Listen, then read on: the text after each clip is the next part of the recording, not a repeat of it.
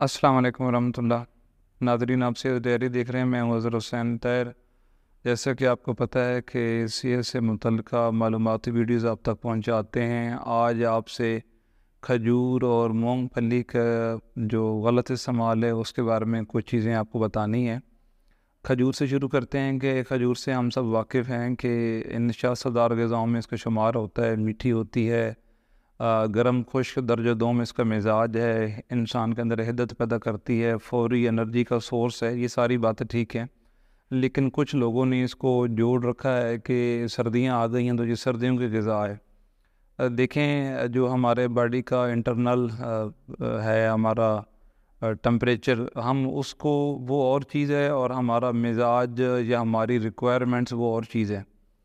अब बैठ ठंड हो रही है तो उसका ये मतलब नहीं है कि हमने बहुत ज़्यादा ऐसी चीज़ें खांसी खानी है जिसमें हरारा ज़्यादा है। फिर हम सर्दी में ज़्यादा मूवमेंट भी नहीं कर रहे होते।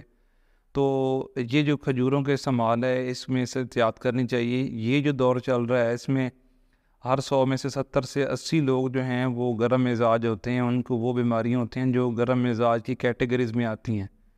दूसरी तरफ़ देखें, अगर किसी को ये मिजाज समझ नहीं आता तो वो ये समझे कि जो हमारा प्री डायबिटिक और डायबिटीज़ के पेशेंट होने की रेशो है, जो तादाद है, जो फिगर है, उसको भी आप देख लें कि हम दुनिया के में आबादी के लिहाज से छठे नंबर पे हैं, लेकिन शुगर के मरीज़ों के हवाले से हम तीसरे नंबर पे हैं। और वो नंबर जिसमें, कितने पेशेंट नए ऐड हो रहे हैं, उसमें तो शायद हम पहले नंबर पे हैं। तो दूसरे ज़बान में, सादा में बात करें या एलोपैथिक की ज़बान बात करें साइंटिफिक अल्फाज में बात करें तो ये इस दौर बंद दौर के बंदों के लिए नहीं है जब हर बंदा अपनी गाड़ी भी चलता फिरता है बाइक पे चलता है कम मूवमेंट करता है और मीठी चीज़ें वैसे बहुत खाता है। हर हर एरिया में बेकरी और आ, अपना दूसरी कोल्ड ड्रिंक्स की सहूलियात फास्ट फ़ूड की सहूलियात हैं। फिर हम खजूर में बहुत ज़्यादा खाते हैं। फिर ऊपर से हम कहते हैं ये सुन्नत है। तो इस चीज़ से इनकार नहीं है लेकिन मैंने एक हदीस हदीस बारे में पहले भी वीडियो बनाई है मुफ्ती आने कराम से मशरा लेके। उनकी तहरीर को देख के कि जो हदीस में बताया गया इलाज है, क्या हर बंदा ही कर सकता है? ऐसा होता नहीं है।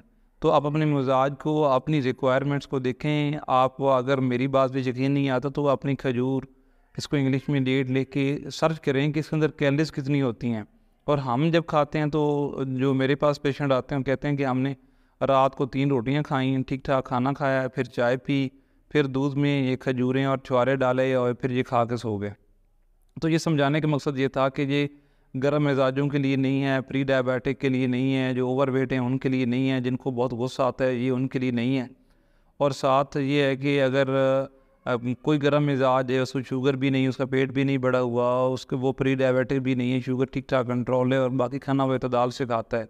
ज़िद में ज़बरदस्ती गर्म मिजाज बंदा खाना चाहे तो वो एक दो खजूरें मक्खन के साथ मिला के इसको बतौर नाश्ता इस्तेमाल कर सकता है कि बस यही नाश्ता है और यही कुछ ठीक है। दूसरी चीज़ जिसके बारे में आज हम डिस्कस करने जा रहे हैं, वो है मूँगफली, उसका गलत इस्तेमाल। वो ये कि हम अपना जो हमारे आजकल की सूरत हाल है, गर्म मिजाजी होती है या खुश्की है या गर्म खुश मिजाज ज़्यादा हैं तो हम सारा दिन एक रूटीन है कि हम अपनी दो हज़ार पच्चीस सौ किलो कैलरीज जो है ना, हम वो सारी गर्म चीज़ों से पूरी करते हैं। और फिर हमने रात के लिए शेड्यूल बनाया होता है कि आधा किलो या पाव मूँगफली लेनी है और तीन दोस्त बैठ के खा लेते हैं।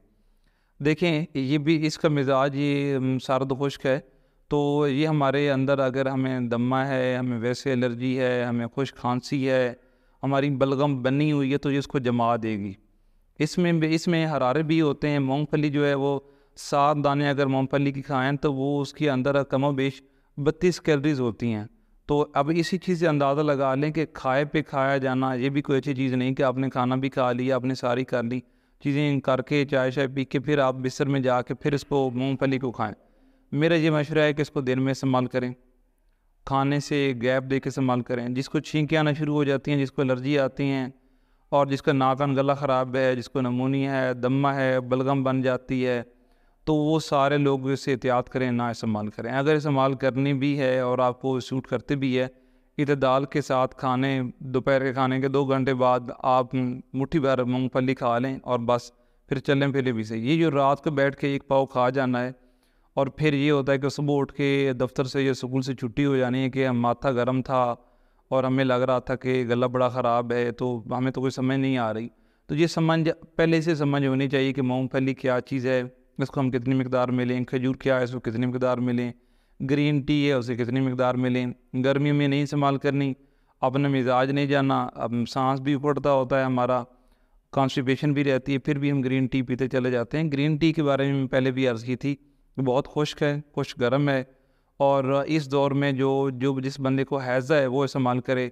ये फजूल बात है कि आप हर चीज़ छोड़ के दो, चार चार कप ग्रीन टी के, उसमें मीठा डाल के और वेट लॉस के लिए आप यूज़ कर रहे होते हैं तो इस तरह वेट लॉस नहीं होता, आपकी जी ख़राब होती है। इस दौर के अंदर मैं तो यही रिकमेंड करता हूँ कि आप हैज़े के मरीज़ हैं, आपको फ़ूड पॉइजनिंग हुई है तो ग्रीन टी लें, वरना ना लें। सारी बातें करने का मकसद ये था कि सर्दियाँ हों या गर्म हो, अपनी रिक्वायरमेंट्स अपना मिजाज, अपना मॉलेज अपना फार्मासिस्ट न्यूट्रिशन इनसे मशरा ज़रूर करें। हमने दवाई में और ख़ुराक में क्या खाना है, हमें क्या मसला है, कब क्या और कितनी मकदार में चीज़ खा सकते हैं।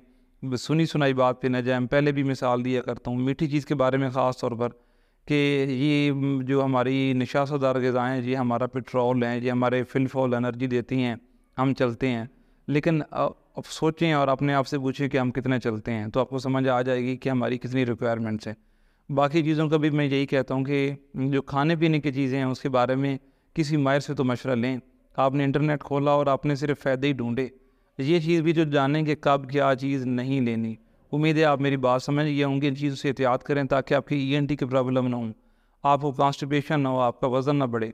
इसलिए ये सारी चीज़ें आपको गिनवाई हैं कि आप खजूर और ग्रीन टी और मूंगफली के बारे में एहतियात करें। अपना ख्याल रखें, अपने घर वालों का ख्याल रखें। बहुत शुक्रिया।